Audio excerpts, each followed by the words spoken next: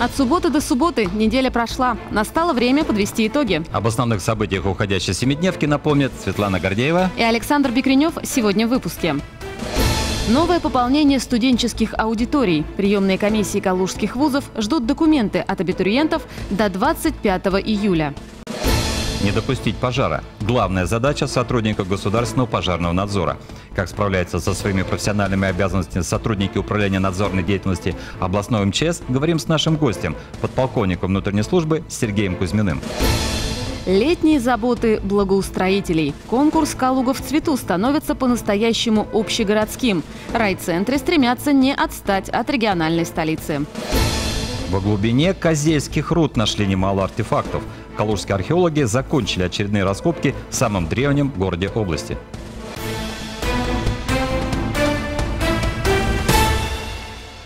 Четыре направления работы власти – медицина, образование, сельское хозяйство и жилищное строительство.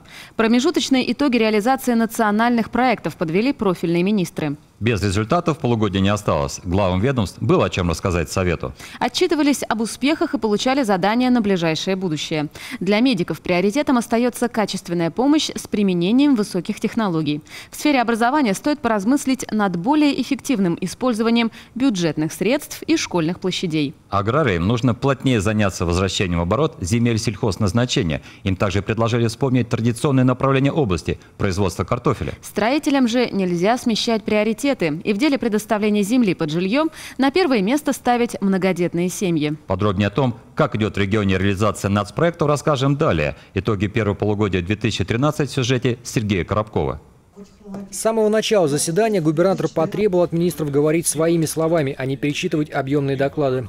Первой к доске вышла министр здравоохранения Елена Разумеева. По данным медиков, за первое полугодие 2013 в области заметно сократилась смертность от сердечно-сосудистых заболеваний. Запасы крови в области, вопреки слухам, увеличились.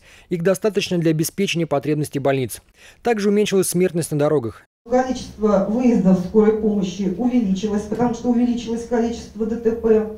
Количество пострадавших увеличилось э, значительно, но количество погибших, вот обратите внимание, снизилось значительно, со 160 до 99. Снижение смертности отмечено и среди младенцев, причем со строительством перинатального центра этот показатель должен приблизиться к нулю. Еще одно достижение – прекратился отток медперсонала. Количество врачей даже увеличилось, но не все еще спокойно в датском королевстве. У прокуратуры возник ряд вопросов к министерству. Прокуратура продолжает поступать жалобы, мы обобщали ситуацию по итогам за полугодия, на нарушение стандартов качества оказания медицинских услуг. Вот, э, таких жалоб примерно, особенно по городу Калуге, поступает порядка 10 в месяц. Вот, э, вот тут я думаю, что может быть нам совместно подумать, вот, обобщить эту ситуацию и перед населением отчитаться. Следующим с отчетом о работе вышел Александр Аникеев. Несмотря на то, что в области удалось ликвидировать очередь в дошкольные учреждения для детей от 3 до 7 лет, в этом году будет открыто еще 1200 дополнительных мест. Также появятся дополнительные места в яслях. Однако губернатор уверен, что решить проблему надо иначе – обратиться к работодателям. Надо связаться с, раб с работодателем, чтобы там с ней поговорили. Слушай, э, там, Маша, посиди, посиди с ребенком, побудь до трех лет, вырасти здорового ребенка, отдашь потом детский садик. Мы пока без тебя обойдемся. Давай лучше мы тебе потом приплачивать будем немножко. Нам это выгоднее, чем тебе больничное оплачивать.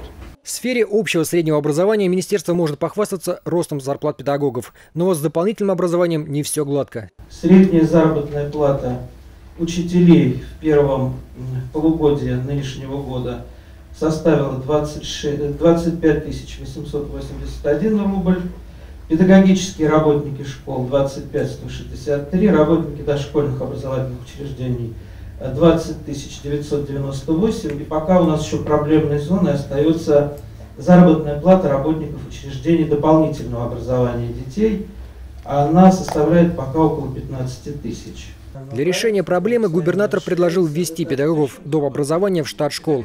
Это также позволит эффективнее использовать школьные помещения во второй половине дня. От воспитателей перешли к строителям. Принятие в 2011-2012 годах долгосрочных программ в сфере обеспечения доступности жилья дает свои результаты. Только за первое полугодие 2013 года в области выдано более 2000 ипотечных кредитов на почти 4 миллиарда рублей. В рамках специальной подпрограммы за последние два года более 500 молодых семей смогли улучшить свои жилищные условия. Продолжается выделение земельных участков многодетным семьям. Наиболее яркий пример – это село Яблово, где у нас на 80 гектарах построено э, инженерные сети, коммуникации, дороги и предоставлены все земельные участки. Из них 385 многодетным семьям, из которых 24 семьи, это где более 5 детей. Особое внимание глава региона потребовал обратить на проблему расселения из ветхого и аварийного жилья. Разобравшись с тем, где будем жить, стали выяснять, что будем есть. Основным направлением сельского хозяйства в области остается животноводство. За последние полгода прирост по различным видам скота и птицы составил от 4 до 20 процентов. При этом особое внимание уделяется автоматизации производства. Уже сегодня 6 роботизированных ферм работают, в том числе 4 фермерских хозяйства. В этом году, например, мы планируем не менее 10 а, роботизированных ферм построить. В Масальском районе уже строится и будет построено около 5 ферм не только с роботизированным а, доением, а в Кутогина строится сейчас роботизированная ферма уже с роботизированным кормлением. Несмотря на успехи в животноводстве, губернатор предложил обратить внимание на возрождение производства картофеля, бывшего когда-то одной из визитных карточек области. В завершении заседания глава региона дал распоряжение Министерству финансов, чтобы все решения по расходованию средств на федеральные программы не вступали в силу без его подписи. Сергей Коробков, Сергей Фондиков, телекомпания Ника ТВ.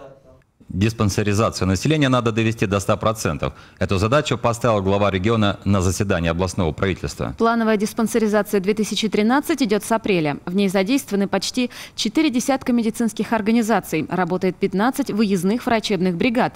Привлечены две передвижные флюорографические и одна маммографическая установки. А скоро начнется проведение осмотра населения с использованием мобильных комплексов. Но необходимо организовать их работу максимально эффективно. Говорили на совещании не только о диспансеризации информации о показателях здоровья населения области и мерах по его улучшению. В списке вопросов – мониторинг отдельных показателей деятельности госучреждений. Обо всем по порядку расскажет Ирина Сидорова. В районном центре и глухой деревне. Медицина на колесах доступна сегодня в разных уголках региона два раза в неделю. В будущем выездные приемы увеличат до пяти. Многофункциональный передвижной медкабинет для пациентов помладше теперь официально прикреплен к областной детской больнице. Мобильный комплекс для взрослых – Козельской ЦРБ. Подобное разделение труда вызвало у главы региона Анатолия Артамонова вопросы к качеству первичного обслуживания. Как потребитель этой услуги, да, потенциальный, все-таки вот есть э, какие-то вещи, которые и люди в, в, в этом плане, как говорится, штучные. Вот диагностика – и лечение. Это немножко разные вещи. Вот в этих э, машинах должны находиться одни и те же люди, они там должны работать десятилетиями. И зря вы вот нагружаете эту Козельскую больницу этой функцией. Должна быть, их вот должно быть пять, допустим, машин, и все пять должны быть в областной больнице. Это мое твердое убеждение. По словам губернатора, как только команды передвижных медиков опридут постоянный состав и серьезное руководство, автопарк медкабинетов на колесах обязательно пополнится, выезды станут ежедневными. Эффективность использования имеющихся ресурсов – главное условие успешного развития, будь то мобильный комплекс или целая сеть госучреждений. В ходе мониторинга бюджетных организаций области Министерство экономического развития выдвинуло ряд предложений по их усовершенствованию. Среди них привлечение аутсорсинговых компаний, присоединение небольших учреждений к более крупным, а также упразднение надуманных рабочих функций и искусственно созданных вакансий, чем сегодня особенно грешат в социальной сфере, здравоохранении и образовании. Сравнивая штатную и среднесписочную численность по состоянию на 1 января 2013 года, можно отметить, что штатная численность работников госучреждений составила 46 900 человек – а среднесписочная численность 29 900 человек. Превышение штатной численности над среднесписочной численностью составило 17 тысяч человек. При этом мониторинг показал, что все вакантные ставки в учреждениях заняты.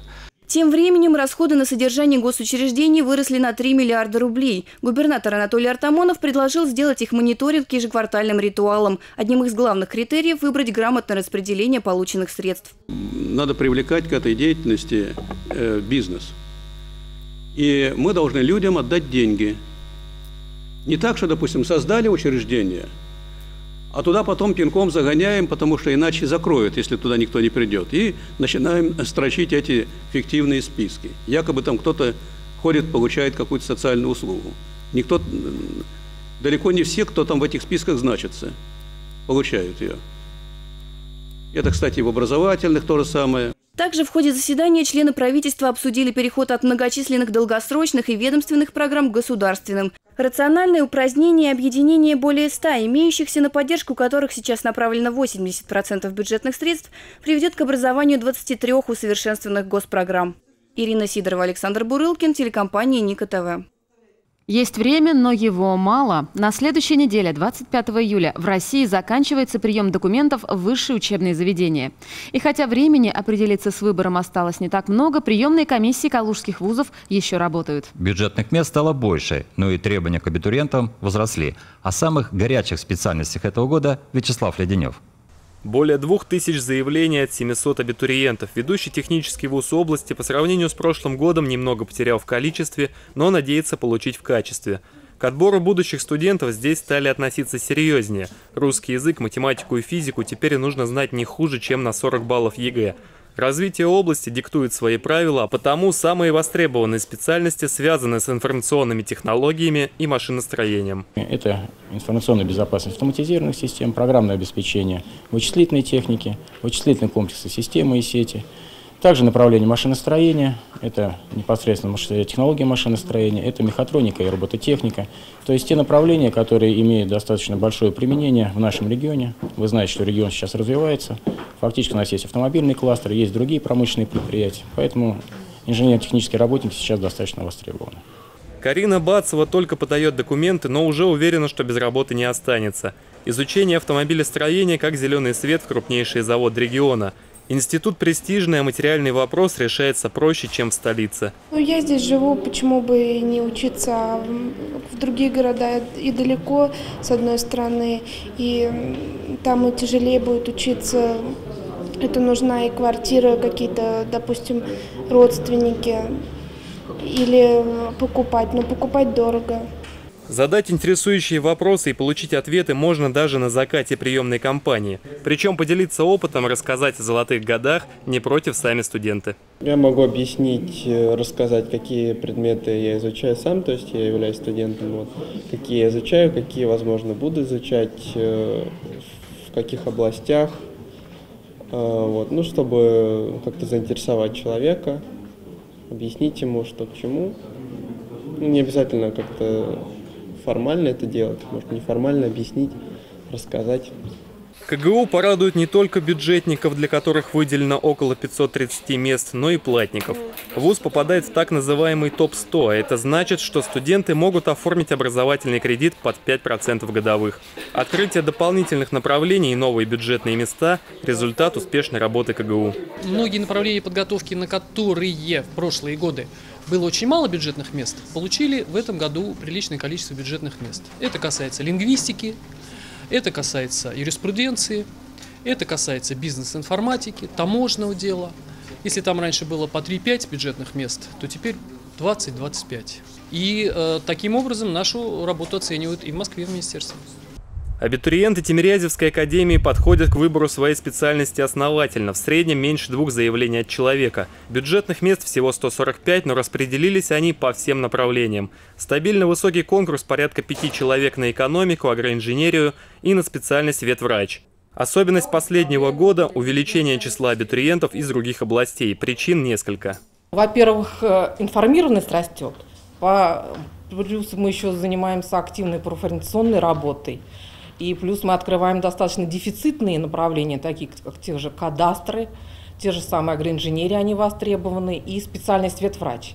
И поэтому люди из многих регионов едут не в Москву учиться, а более близкие города, где, так скажем, и цены дешевле, и условия лучше. Окончательно определиться с выбором время еще есть. Документы можно подать до 25 июля, а уже 30 числа в вузах появятся предварительные списки с именами новоиспеченных студентов. Вячеслав Леденев, Леонтий Ким, телекомпания Ника ТВ. В минувшее воскресенье через регион прошел циклон и выпала месячная норма осадков. О последствиях стихий на рабочем совещании областного правительства доложил начальник регионального МЧС Валерий Клименко. Ливень и его последствия стали героями интернета, а у экстренных служб прибавилось работы. В трех районах семь населенных пунктов находятся без электричества. Бригады везде работают в течение э, до 16 часов должны все восстановить. Ситуация под контролем. Энергетики с проблемой справились довольно быстро. За несколько часов электричество получили социально важные объекты. Всю ночь работали оперативно-выездные и ремонтные бригады. От ливня, града и ветра пострадала и Калуга. В приемную губернатора поступали жалобы от жителей города на затопление подвалов. В городе отключали электроэнергию, падали деревья, размывало дороги. Вячеслав Леденев проехал по областному центру и посмотрел, каких бед натворила стихия. Кошмар, да, какой? Пейзаж горной реки для жителей домов по улице Боговута теперь в шаговой доступности. Дорогу размывало и раньше, но так, чтобы она стала похожа на водопад впервые. Ливневой канализации нет, и вода беспрепятственно уносит сухой асфальт, песок и щебенку. Новая достопримечательность появилась неожиданно в рабочее время, а потому многих жителей застала врасплох. У меня видела дочь, она шла, я была на работе. Ну, как бы, результат вот этот вот я увидела уже, когда возвращалась с работы в 8 часов вечера. Здесь, э, как она сказала мне, позвонила, говорит, мама, у нас Ниагарский водопад. Вот. Текло, э, ну, в общем-то, очень хорошо. Тут была вот эта вот яма по пояс. Вот это вот, где они сейчас вот немножко, чтобы выехала машина. У нас не скорая, не пожарная коснись, у нас никто не подъедет. На улице Подгорной вода не стала ходить вокруг да около и пошла сразу в дом. Первый этаж, находящийся ниже уровня дороги, оказался затоплен почти наполовину. Вода поднимается каждый год, но за пределы огорода обычно не выходит. Наводнение больших масштабов здесь было только в 89 году, когда вода почти намочила потолок. Ливневка есть, но с таким объемом осадков не справляется. Тема природного катаклизма не могла обойти стороной заседания городских властей. Движение по улице Набережной было временно ограничено из-за провала грунта. Образовавшуюся яму заделали оперативно, но некачественно, просто засыпав глиной. На ней не только машины проехать не могут, человек стоять не может, он утонет просто в этой глине. Яма 2 метра глубиной, 2 на 3 размытия. Никто не приглашен, ни водоканал не смотрел, значит, ни электрические сети, ни, я не знаю, там дренажники, наверное, должны были посмотреть. То есть коммунальные службы должны посмотреть, откуда, почему это размытие произошло. Мы какой-то вывод сделали там, нет? Вывод сделали, причину установили. Всему виной ливневка и недопонимание. Предприятие, обслуживающее ливневые сети, не обнаружило в коллекторе наносов порядка 15 кубов песка. Решение обустроить глиняный замок работники поняли слишком буквально и забили глиной весь провал. Мы выехали на место, вот, назад извлекли э, глину и остатки грунта, вот, почистили основания и уже в соответствии с технологией произвели подсыпку. Значит, подсыпали песком, вот, порядка 40 сантиметров по высоте, и послойно в три слоя покрыли уплотненным э, щебнем 20-70. Вот, поэтому у нас э, есть полная уверенность, что если не повторятся такие размывы, то это основание будет достаточно прочным и постоит долгое время. Вячеслав Леденев, Леонтий Ким, Михаил Анросов, телекомпания Ника ТВ. Некоторые последствия стихии пришлось ликвидировать всю неделю. В городе все падали и падали деревья. Утром в понедельник в Горуправу поступили сообщения о 15 упавших деревьев. Это было только начало. К пятнице цифра выросла до 40. Старые деревья, впитавшие влагу, сначала держались, затем покосились и только потом упали. Как нам сообщили в Комитете по благоустройству, специалисты активно работали и работают. Опиливают надломленные сучья, убирают, вывозят все, что нападало за неделю. Что касается улицы Набережной в Калуге, то ее на этой неделе уже и заасфальтировали. Большая часть промывов на дорогах ликвидирована. Где-то укладывали асфальтобетонную смесь, где-то подсыпали щебнем и асфальтовой крошкой. С понедельника по пятницу ремонтники устранили 15 промывов и провалов. Часть дорог придется ремонтировать более серьезно. И это будет сделано чуть позже, так как требует уже совсем других материальных затрат. Дорожных проблемах не всегда виновата стихия. Именно поэтому тема ремонта областных дорог вызвала острую дискуссию на выездном совещании депутатов в Медыне. В этом городе новый асфальт на улице Гагарина не продержался и года. Повреждение полотна комиссия вывела в 11 местах – председатель областного парламента Виктор Бабурин призвал депутатов внимательно контролировать все этапы строительства, чтобы оперативно влиять на ситуацию и заставлять подрядчика устранять недоделки за собственный счет. В ближайшее время начнется капитальный ремонт дороги Боровск-Федорово-Медынь-Верия. Частично приведут в порядок трассу Медынь-Гусева. Этого местные жители ждут уже несколько лет. Виктор Бабурин пояснил, утверждение планов и сроков строительства дорог зависит от депутатов. Именно они определяют, где должны поработать строители в первую очередь. Тем более, что со следующего года ремонт районных дорог будет финансироваться из вновь создаваемого муниципального дорожного фонда. Но у вас большинство дорог сегодня не узаконено. А некоторые дороги, они у вас не носят название просто направления. Тоже вот, помните, как мы начинали с вами работу по чистой воде? Как, куда эти сети, откуда, где документы, как передавать и все прочее. Вот примерно такая же эпопея ждет и по дорогам. Работать надо по правилам. Вот и э, учитесь, думайте и э, начинайте организовывать эту работу. Продолжаем автодорожную тему. День качества провели специалисты Калуга-Дорзаказчик на дорогах Кировского района. Подрядчик, Кировский дорожник, завершает капитальный ремонт автодорог по направлениям Киров-Бетлица и Киров-Верхняя Песочня. Подробности в сюжете наших кировских коллег.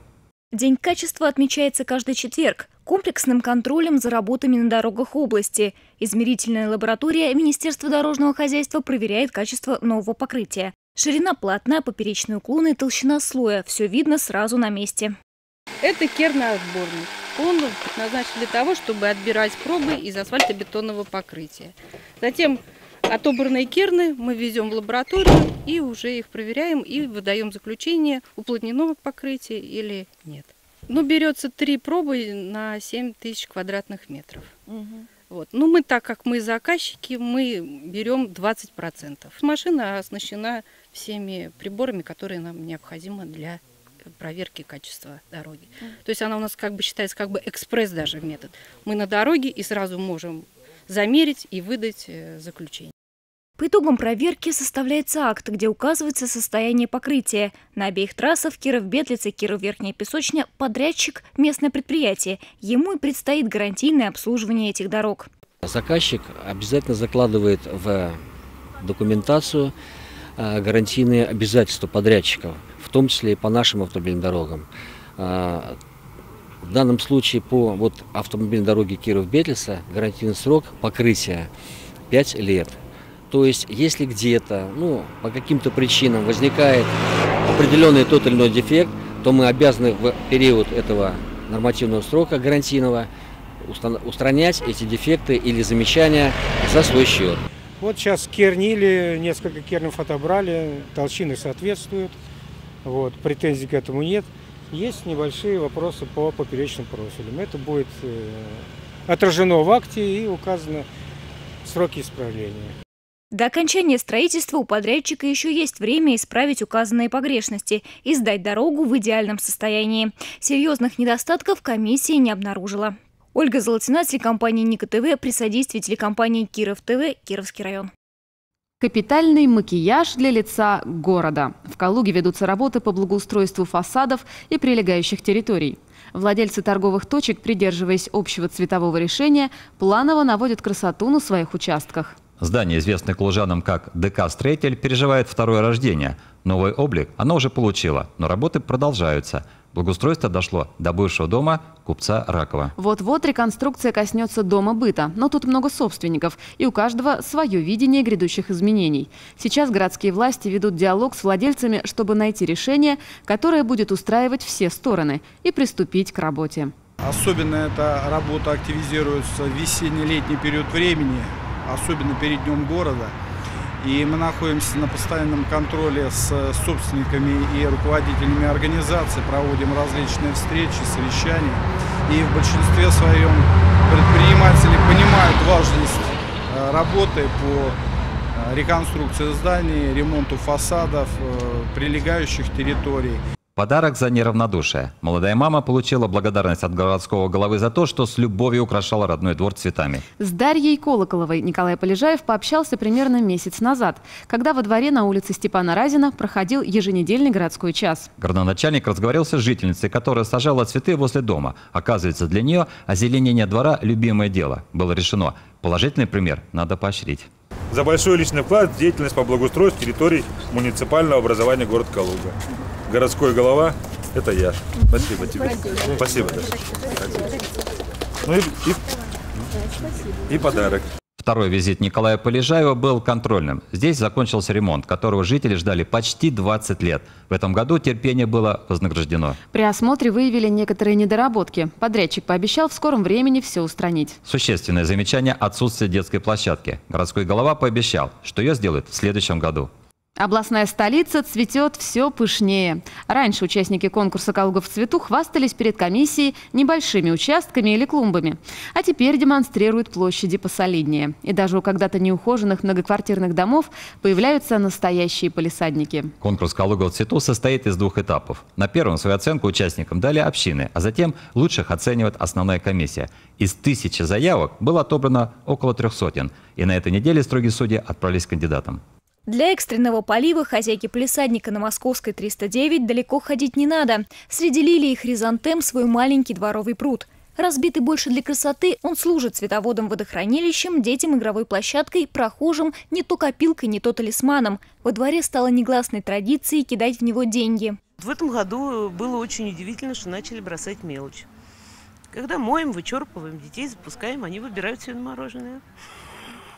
Больше мелочи детский глаз радует живность. Лягушки, птицы, а во главе памятник теще. Обустраивать быт скульптуры помогают родные и знакомые. Кто из деревни чугунки привезет, кто валенок завалявшийся на плетень повесит.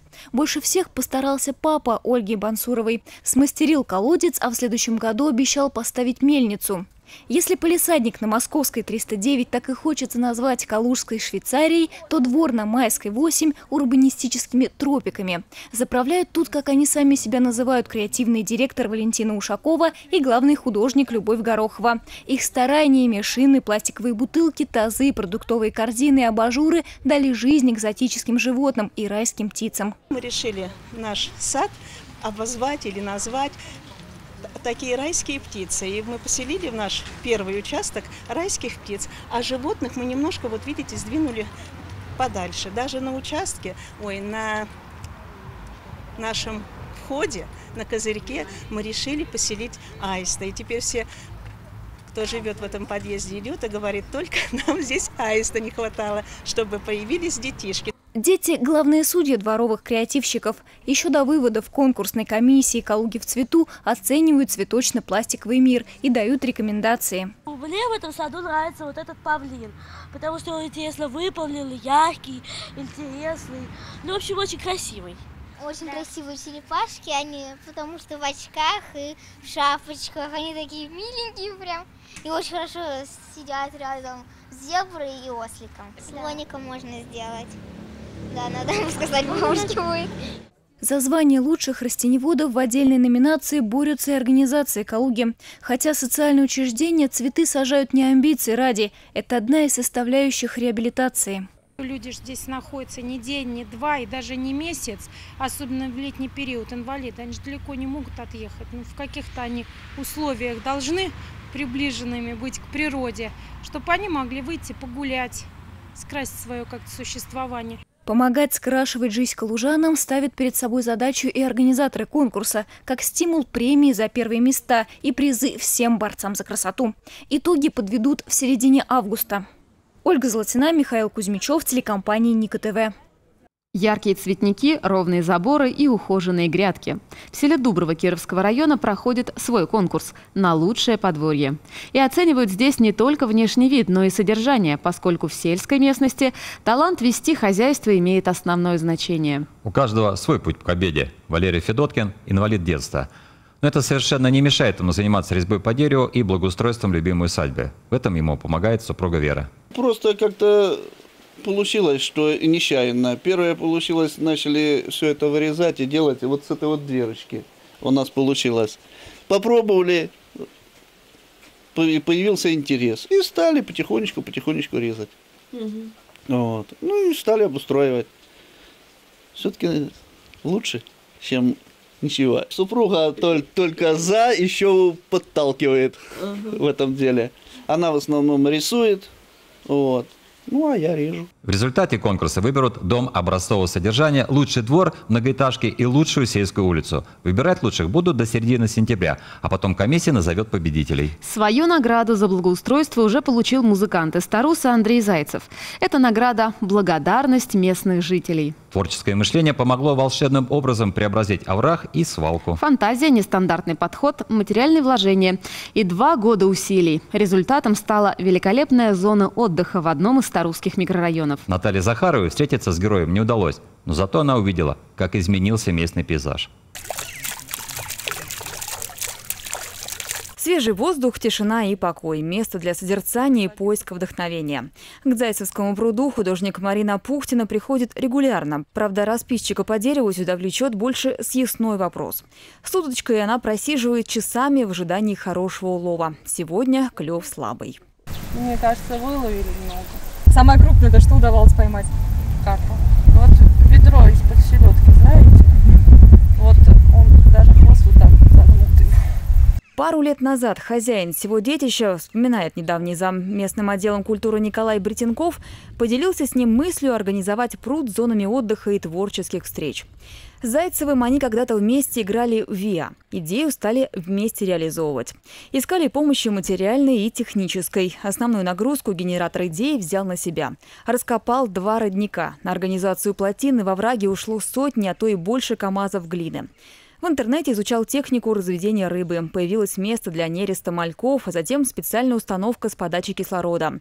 А там и дальнейшее благоустройство. Теперь сюда может прийти отдыхать кто угодно и рыбачить сколько угодно. Бесплатно. Сейчас как-то это вот немножко не вяжется, да? Сейчас у нас как вот, если что-то построил свое, огородил, и на этом, значит, делать деньги, правильно, да? А он говорит, ты понимаешь, у меня вообще такой цели нет, чтобы на нем какие-то деньги зарабатывать. Я хочу, чтобы просто народ приходил отдыхать.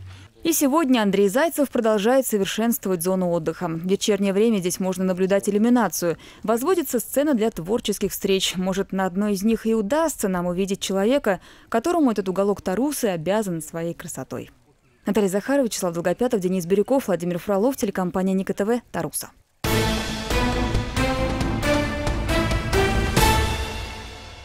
Не допустить пожара. Вот главная задача сегодняшних героев нашей рубрики «Подробности».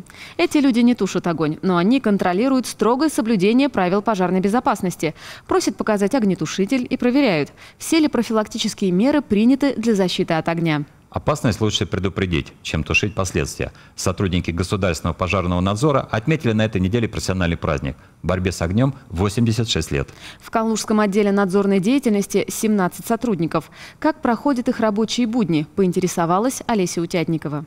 Профессиональный праздник на рабочем месте. Пожарный надзор Калужской области проводит совещание. Проверки на противопожарное состояние и дознание по фактам пожаров никто не отменял. За круглым столом подведение итогов работы по борьбе с огнем в сердце региона. Мы хорошо справляемся. Об этом свидетельствует э, ну, сравнительный анализ работы отделов э, Центрального регионального центра.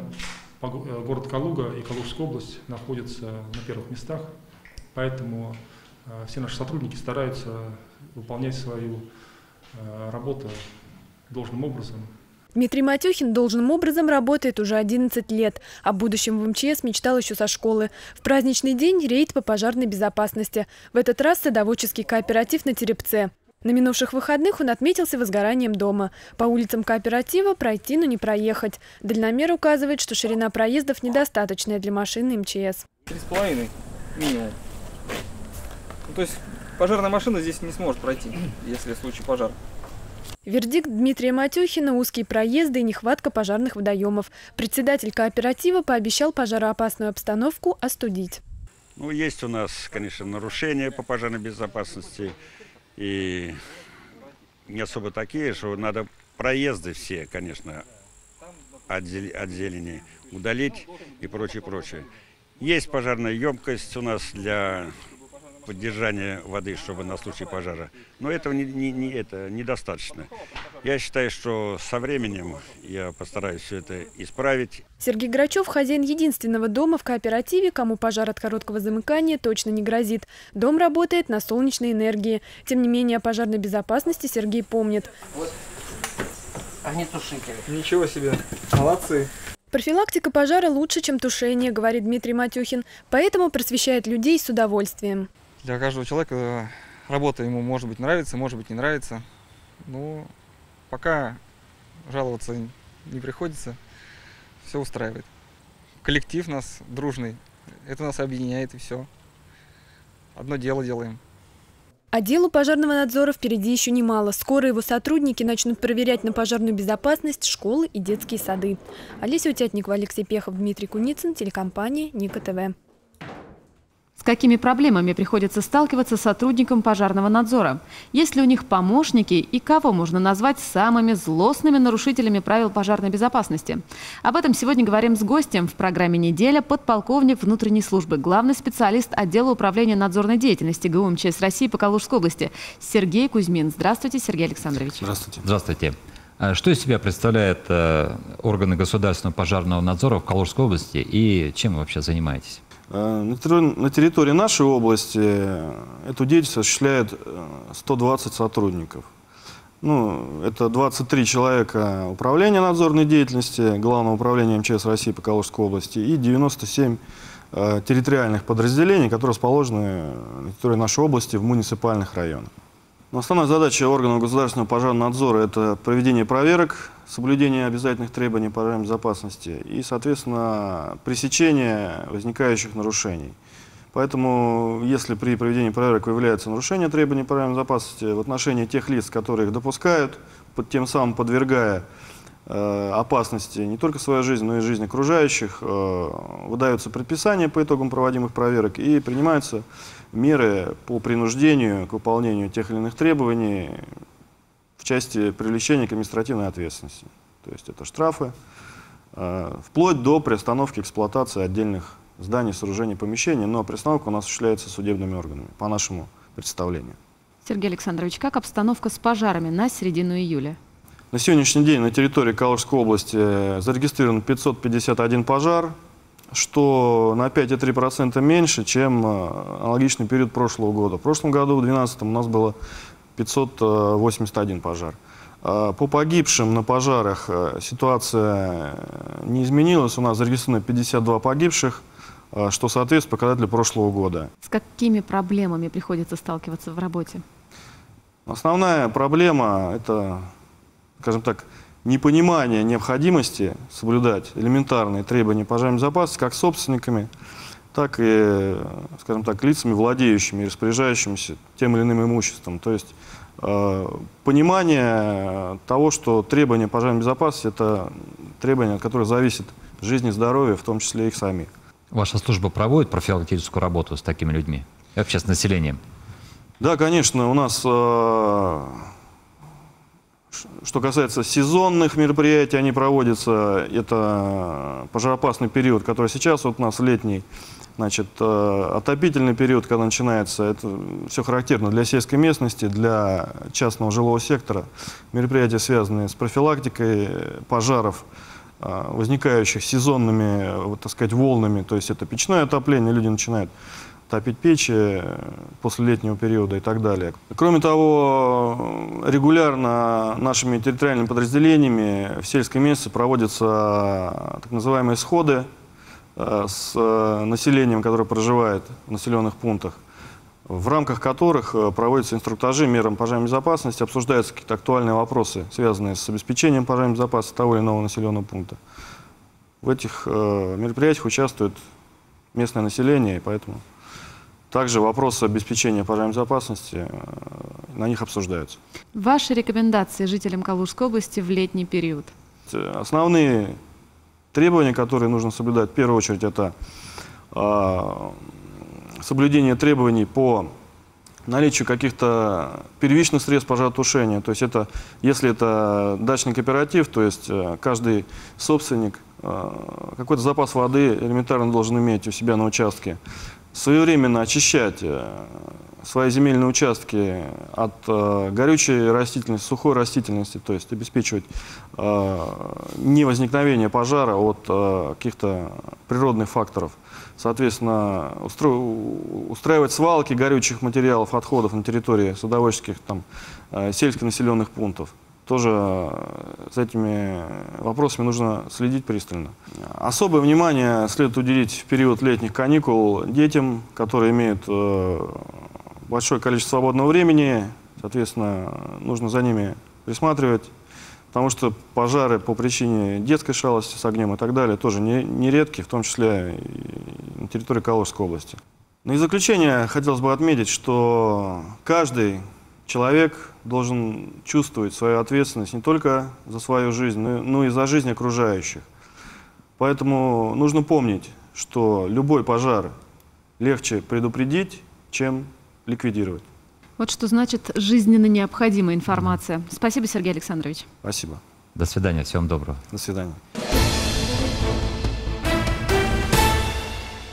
По результатам работы в первом полугодии калужскими наркополицейскими перекрыто 39 каналов поступления запрещенных веществ в регион. Возбуждено более 300 уголовных дел. Такие данные озвучили на отчетной коллегии управления ФСКН по Калужской области.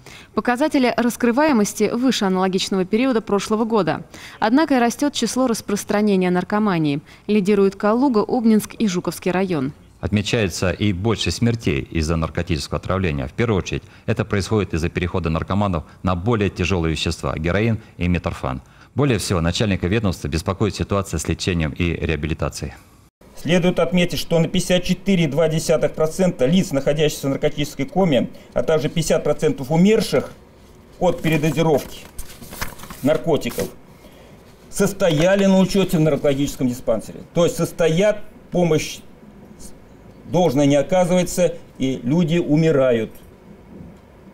Что свидетельствует о недостатках в системе лечения наркозависимых и их реабилитации. Информацию о фактах сбыта и употребления наркотиков, а также организации притонов можно сообщать на специальный мобильный. Но правда, это дополнительная функция горячей телефонной линии, которая заработала в городской прокуратуре. Основная ее цель – принимать звонки о фактах коррупции. Номер антикоррупционного мобильного 8 910 526 36 89. Каждый может позвонить и сообщить о должностных лицах, которые вымогают взятки.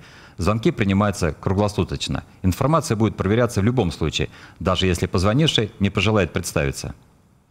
Есть нарушения, сдавай номера. Для водителей автобусов ничто не должно быть важнее безопасности пассажиров. В областном центре прошла профилактическая операция «Автобус». Инспекторы ГИБДД осмотрели пассажирские транспортные средства, в том числе и межгородские. Штрафы или предписания получили практически все водители. Операция с диагностикой прямо на стоянке. К медицине отношения не имеет, но кому-то, возможно, спасет жизнь. За последние полгода в Калуге произошло 9 ДТП с участием пассажирского транспорта. В них пострадало 13 человек. Сотрудники ГИБДД стараются исключить любую возможность трагедии. Особое внимание к рулевому управлению. Проверка автобуса номер 12 показала, что не зря. Должен быть 20%, 20 градусов, там 120. У данного автобуса суммарный люфт э, равняется 120 градусам при положенных 20 неисправное рулевое управление, при котором запрещена эксплуатация автобуса, и это угрожает безопасности дорожного движения. Но это любая авария, любая, любая кочка, это автобус потеряет управление, потому что оно неисправно. Пассажирам 12 маршрута снова не везет. С номерами попрощался еще один автобус. Водитель не смог найти в своем салоне диагностической карты. Это равнозначно отсутствию техосмотра. Механик-то как выпускал в рейс? Без, без диагностической карты? Он проверить у вас должен был все эти документы. С просроченной диагностической картой инспектором попался и автобус до Ульянова. Не один час дороги до села люди проводили, рискуя жизнью. Теперь транспорт не скоро выйдет на трассу. Межрегиональные перевозчики оказались добросовестнее. В тульском автобусе в неисправности оказались лишь средства первой помощи – аптечка и огнетушитель. Таких проблем особо не возникало. Как бы автобус э, в исправном состоянии. Световой прибор, все работает проблем никаких. Это вы считаете мелочь? Как бы, да не очень, в дороге всякое случается, так что не обязательно с машиной, может с кем-то еще случиться. Помочь всегда надо. К угрызениям совести водителю добавится штраф 100 рублей. За большинство автобусных неполадок административное наказание относительно невелико, в пределах тысячи. Чаще всего инспекторам приходится спрашивать за перегоревшие лампочки в световых приборах и незаполненные путевые листы. За последние полгода в категории пассажирских перевозок выявлено около 170 правонарушений. Ольга Золотина, Андрей Сомов, телекомпания Ника ТВ.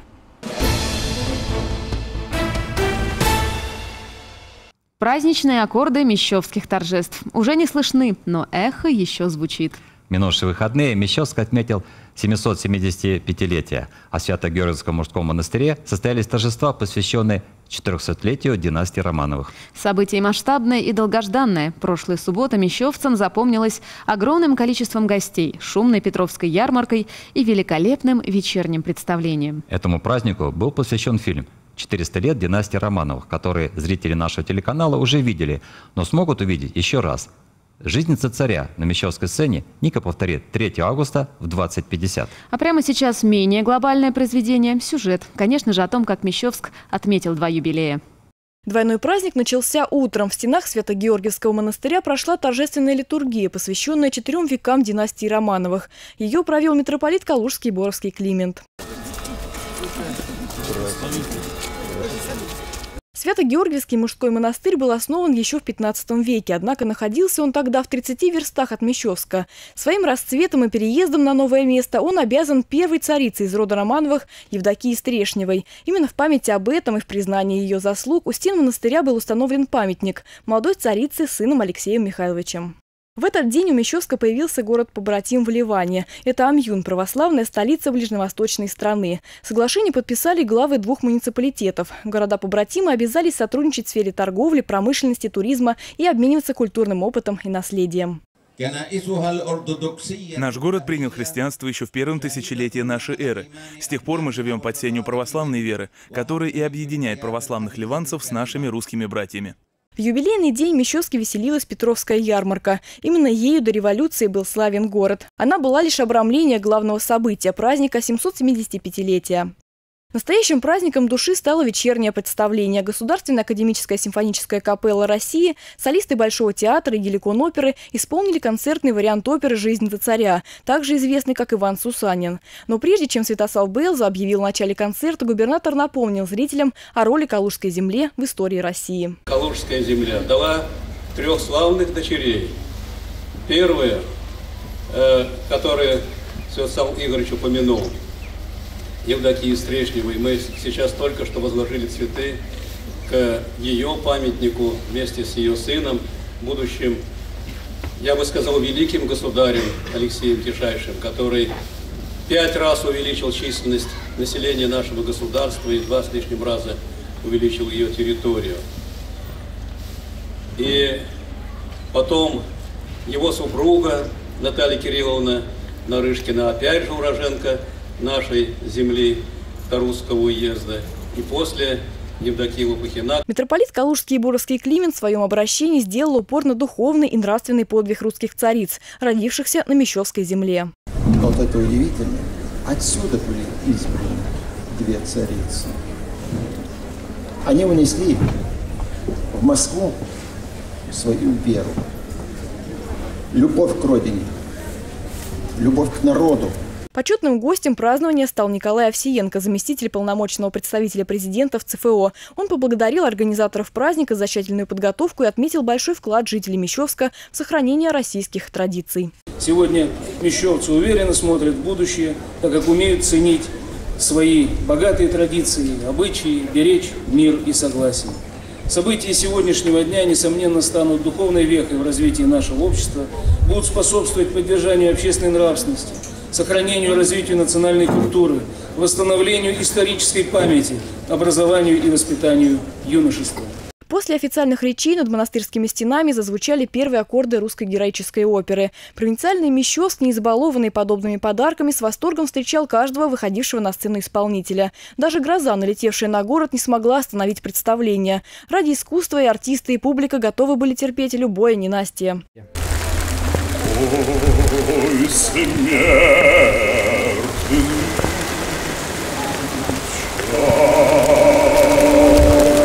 как по волшебству вместе с концертом завершилась и гроза. После знаменитой заключительной песни «Славься» звон колоколов заглушили аплодисменты и крики «Браво!».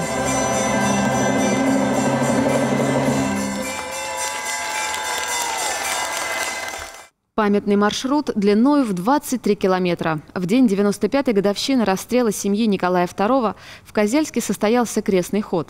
Его инициатором выступило хуторское казачье общество «Оптинское». В путь отправилось около 200 человек. Вместе с ними по святым местам Козельского края прошлась Ольга Золотина. В путь решили отправиться сразу после утренней литургии. Первыми на священный старт выстроились воспитанники православного лагеря «Пересвет». Километраж большой, но силой оптимизма молодежи не занимать.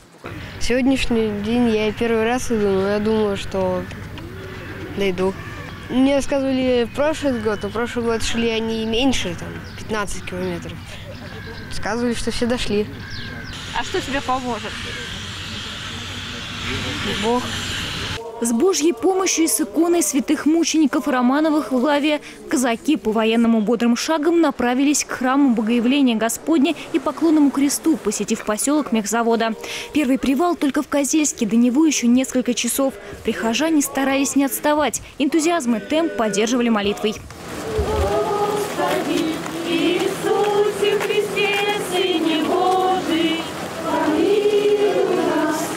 Каждого русского православного человека э, эта дата очень важна. Э, мы очень ценим, любим царскую семью. И э, в знак почитания, в знак воспоминаний тех скорбных минут, которые им пришлось пережить, тех страстей, через которые им пришлось пройти. Я Ну, очень даже спасение, уважаю да. и верю, что царь Николай нас... Вот сейчас он с нами шел. Да, Полностью связь со всеми Со всем- со своими всеми семьей. Он нас сопровождал от самого от самой Оптины. Россия возродится после крестных ходов. Мало народу идет, посмотрите, сколько мало. А Россия-то какая огромная, 80 миллионов. Однако по улицам Козельска и так прошло немало, более 200 человек. Большой вклад в численность участников сделали многодетные родители, отправившись в путь всей семьей. Для них царский дом – символ истинной русской ячейки общества. При царской семье жили по-другому люди. Многого, в принципе, того, что сейчас допущено, не было. И семьи были, и многодетных очень много было.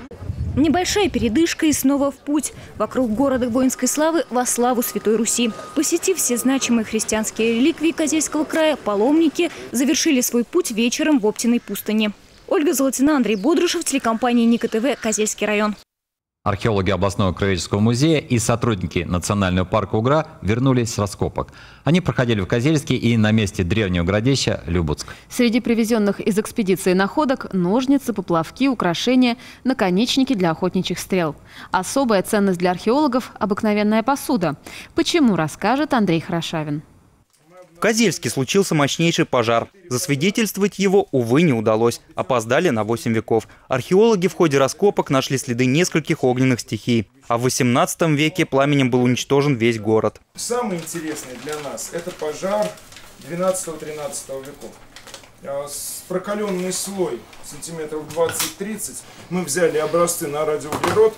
Должны будем по осени отправить в Киев и получить более точную дату. Только на днях ученые вернулись с раскопок. Сейчас хвастают находками. Ножницы, поплавки и грузила, точильный камень для шила. И даже всяческие украшения, которые приводят в замешательство археологов. Эта бусина происходит из-за слоя э, где-то с метровой глубины. Все грани четкие.